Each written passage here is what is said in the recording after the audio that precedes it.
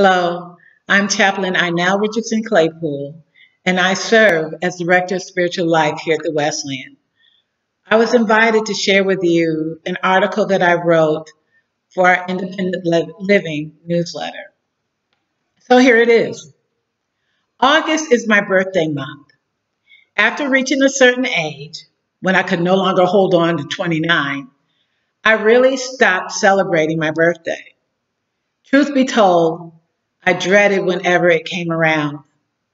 My birth date was a constant reminder that another year had come and gone, one in which that I had not accomplished all the goals that I set for myself, and one in which I had not fulfilled all my dreams.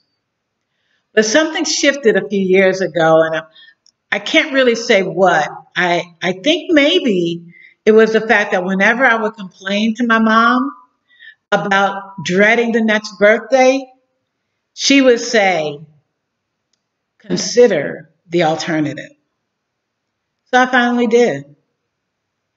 So now I celebrate my birthday.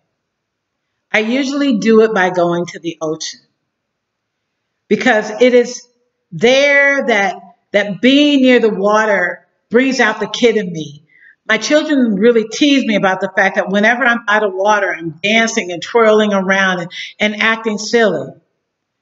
But there's something about being in the shore, near the shore, that that um, I feel closest to God.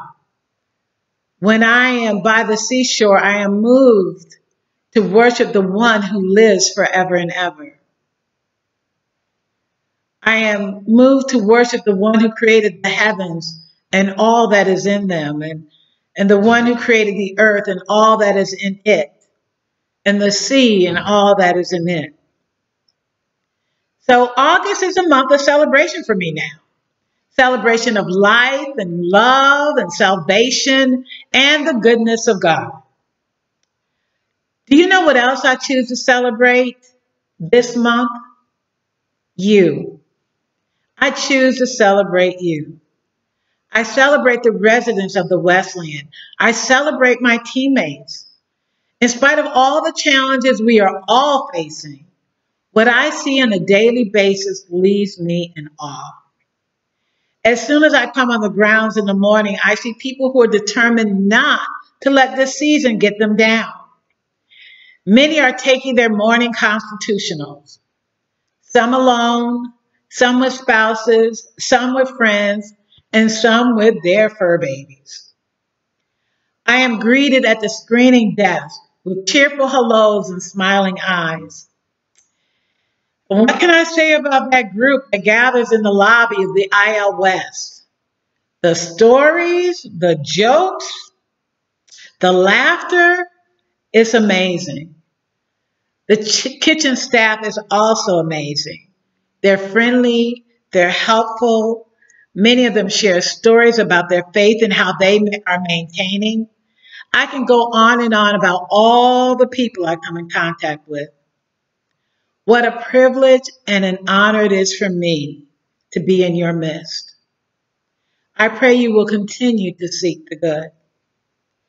Philippians 4 8 says, Finally, brethren and sistren, whatsoever things are true, whatsoever things are honest, whatsoever things are lovely, whatsoever things are just, whatsoever things are of good report, if there be any virtue, if there be any praise, think on these things. This August, instead of focusing on the negative, I choose to focus on the good.